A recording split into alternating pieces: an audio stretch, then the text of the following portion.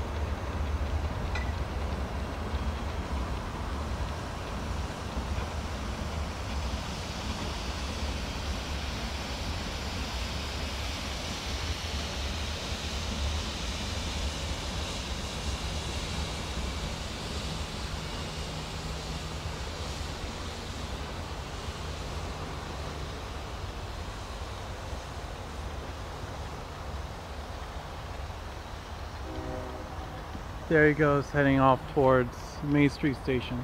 That's it.